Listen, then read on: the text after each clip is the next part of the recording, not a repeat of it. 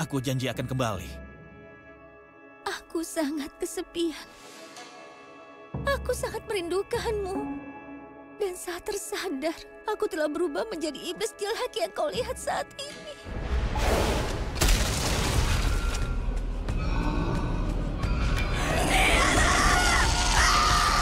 Kenapa manusia bisa berubah menjadi iblis?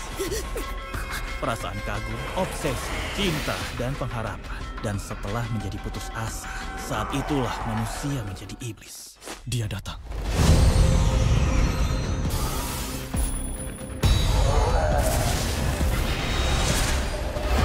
Iblis harus disucikan jiwanya. Setelah itu diusir.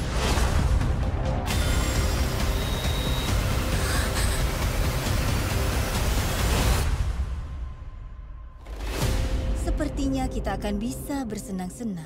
Say Mei.